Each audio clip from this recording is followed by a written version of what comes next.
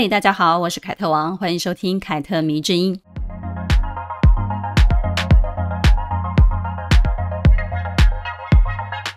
我常想，在现实世界里呢，一定有很多的女人因为爱情耽误了很多事情。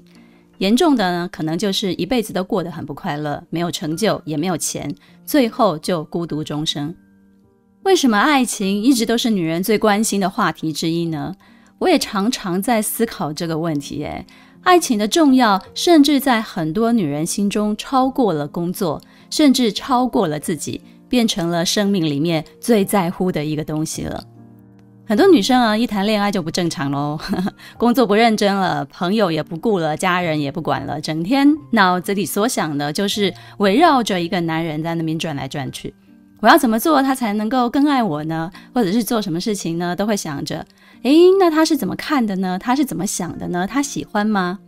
每次跟男人分开之后呢，就会开始思考，他刚刚说的那句话是什么意思啊？他这样做是什么意思啊？他是不是只是跟我玩玩而已呢？总之呢，就会脑补很多很多很多，然后呢，他的生活里就被这些思绪给填满了，于是就做不了其他更重要的事情。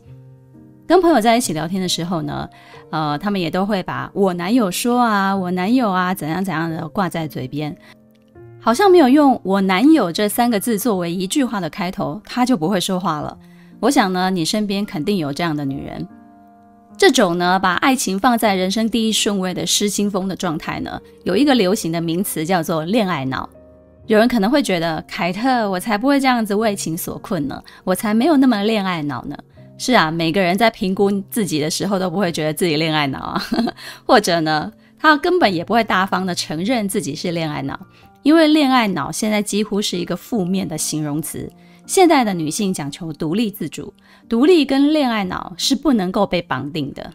可是呢，我们究竟有没有恋爱脑的时候呢？嗯，可能是只有我们自己知道喽。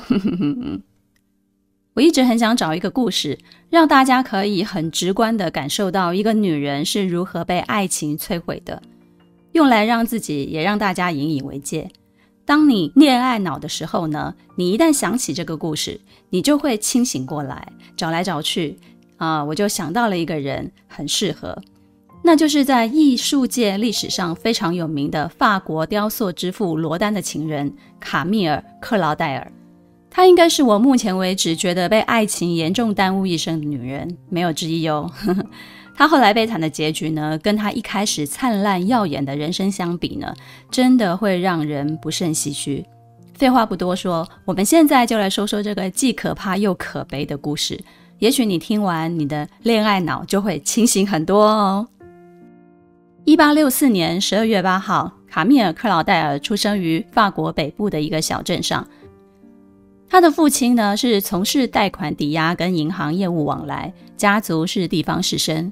母亲那边呢，则是从事香槟制作的中产之家，家庭背景呢算是相当的不错。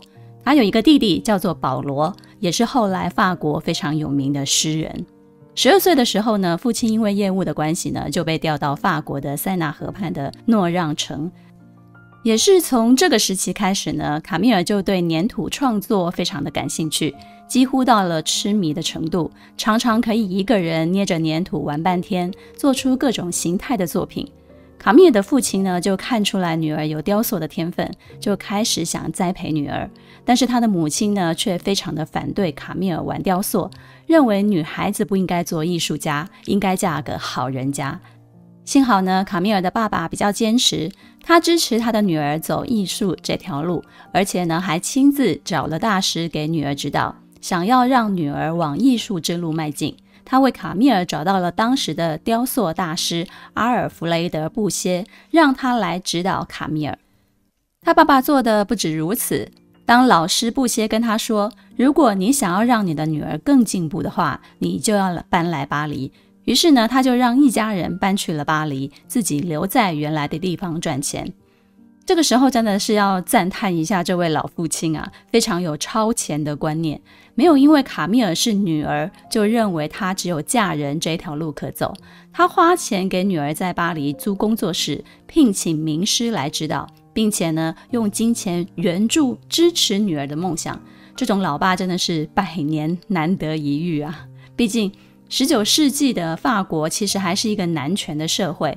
艺术学院甚至是拒收女学生的，所以呢，他的父亲也花了很大的力气去拜托人家，才让卡米尔进入了当时著名的艺术学院就读。一八八二年，十八岁的卡米尔跟他的其他三位好朋友在巴黎成立了自己的雕塑工作室。卡米尔的老师布歇则负责监督他们的工作，指导他们。但是不久之后呢，布歇就因为赢得了巴黎沙龙的大奖，于是呢，不得不前往意大利去工作。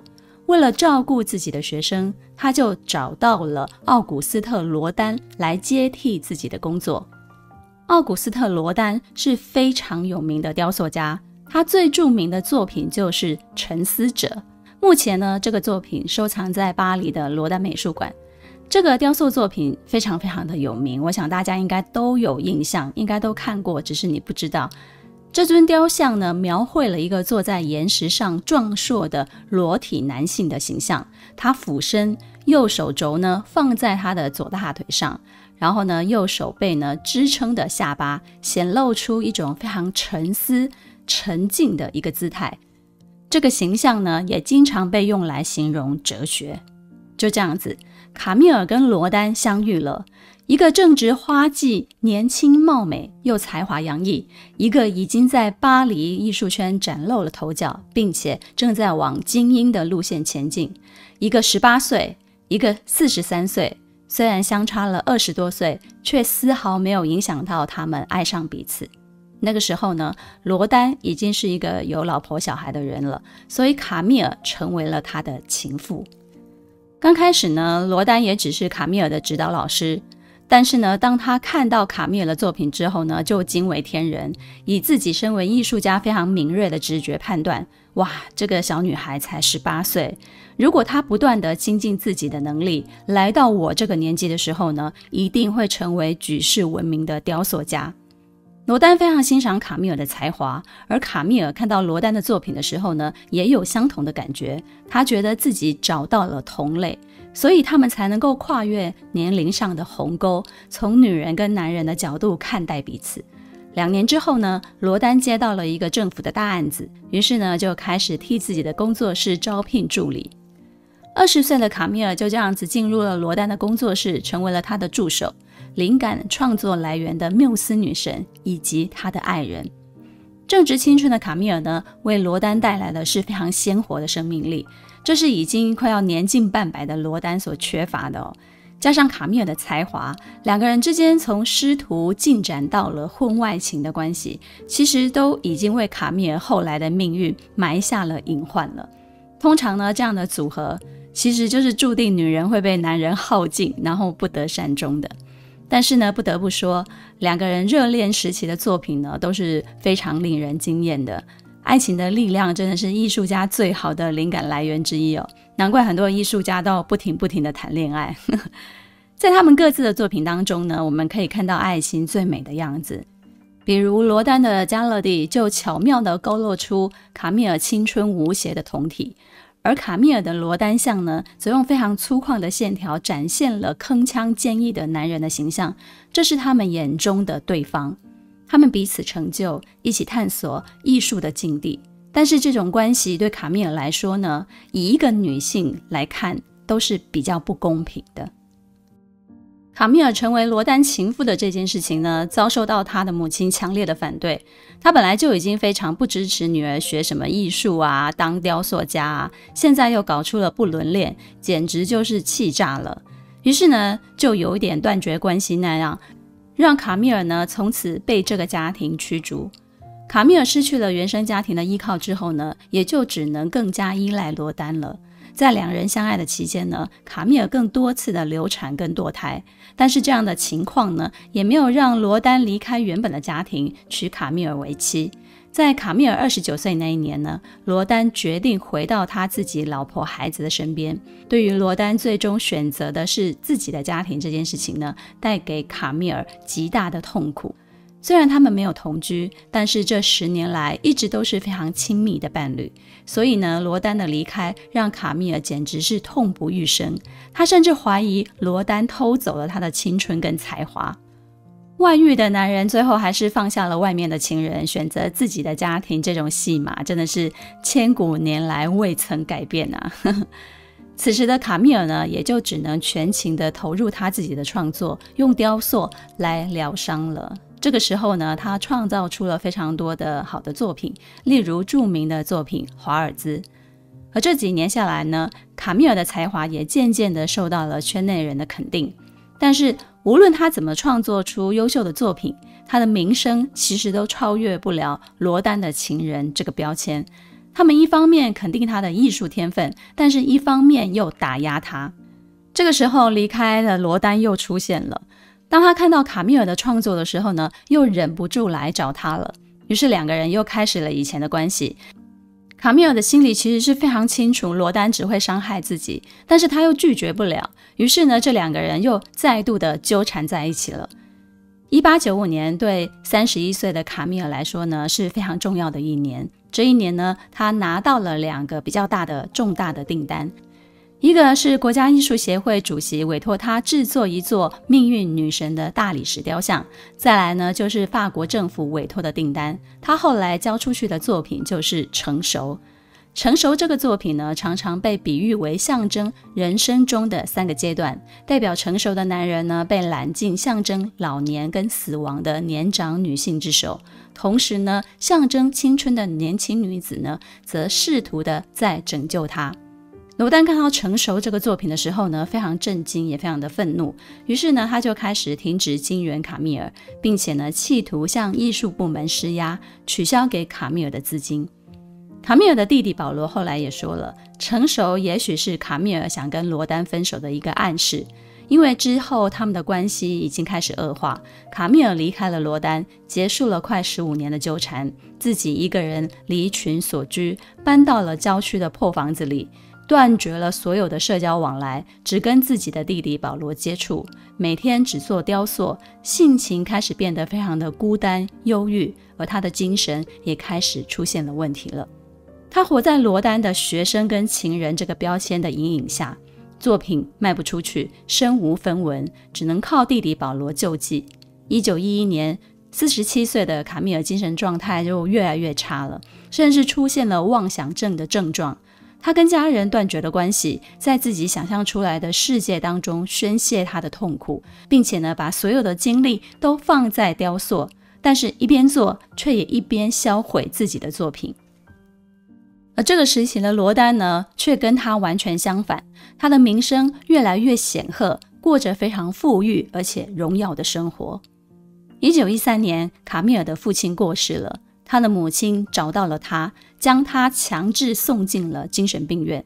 他赤着脚从破房子里面被拖了出来，头发非常的凌乱，眼神很涣散，完全看不出年轻时的他呢曾经那么的灵气逼人。他住的破房子里面充满了各种没有完成的作品，也充满了碎了一地的作品。四十九岁的卡米尔成为别人眼中的神经病，他是一个疯子。住进了精神病院三十年后呢，他孤独地死在一个冰冷的房间，享年七十九岁。一个曾经可能成为十九世纪法国最伟大的女雕塑家的少女，应该从来没有想过自己最后的结局会是如此吧？我曾经不止一次告诉我的读者，远离已婚的男人，还有远离消耗你的爱情。因为如果一直在烂泥巴中打滚，你是怎么样都不会干净的，只会越来越脏，也会越来越沉沦。最后，你就会因为付出太多的时间跟精力，放弃了挣扎，自己也变成了烂泥巴，瘫在地上了。卡米尔就是一个很好的例子。我虽然同情他，但是我极度的不赞同他对待自己的方式。他应该更重视自己的才能，而不是跟罗丹哥哥顶。懂吗？这种纠缠其实消耗了他很多很多的能量。在我看来呢，他就是把自己最好的青春跟才华全部都贡献给别人，却没有留给自己成就自己。很多人也许都不知道，他在二十七岁的时候呢，就已经成为了法国国家美术协会的成员了。而这个协会呢，在当时据说是一个全部都是男生的一个俱乐部，因此呢，他其实是非常有能力的、有前途的。如果他想获得更高的荣誉跟成就，他应该要更专注于自己。他一方面不想成为罗丹听话的情人，一方面呢，却又断不开对他的依赖。他明明知道这一段爱情只会带给他伤害，却还是放任自己沉沦下去。他想要摆脱罗丹情人的标签，但是他做的完全都是相反的事情。没有什么比这种恋爱脑带来的伤害更大了。这是一种自杀式的恋爱脑，自我毁灭。看过他的作品呢，你就会替他感到非常的心痛，因为他真的是非常的好，他真的完全不输罗丹，甚至比他还要好，比他更有才华。可是呢，他却没有得到他应有的荣耀。我真的有一点点哀其不幸，怒其不争的那种感慨哦，替他的不幸感到非常的悲哀，却也替他的不为自己争取感到非常的愤怒。如果我是卡米尔的父亲，不知道。该会有多心痛！一个我曾经辛辛苦苦费心养育的女儿，支持她去往艺术之路迈进，却因为一场爱情而把她自己葬送了。如果好好的走下去呢？她将会是十九世纪法国最伟大的女雕塑家。当然，如果你要用一个非常罗曼蒂克的角度去解读卡米尔跟罗丹的爱情，其实也是可以的。只提取他们最甜蜜的那一段时光，看到两个灵魂伴侣各自激发对方的灵感，那一种美妙的、近乎神迹的境地。只是，一旦你像我这样子知道故事的结局之后呢，你应该就很难从这个角度去看了。你说对吧？在卡米尔去世三十七年之后呢，世俗才终于认可了他的才华跟名誉。不过，很多人说起卡米尔，依然会以罗丹的情人来描述他。后来，很多人感叹，卡米尔的沉沦呢，不仅仅是他个人的，也是整个艺术历史的。他的作品呢，后来四处的散落，是他的外甥女费了非常非常多的心思，一一收集而来的。现在呢，他的很多的作品也被收藏在法国罗丹美术馆。如果你身边有姐妹正在一段不健康的爱情当中，或者是她就是个小三，希望你可以分享这个故事给她，让她思考一下自己的未来。如果在一段不健康的关系当中的人是你，那么也希望你听完本集的故事呢，可以有所领悟。勇敢的离开一个人，有些时候也是爱自己、珍惜自己的一种表现。希望大家都能够不再为爱情所苦，不再被爱情耽误。凯特迷之音，咱们下次见了。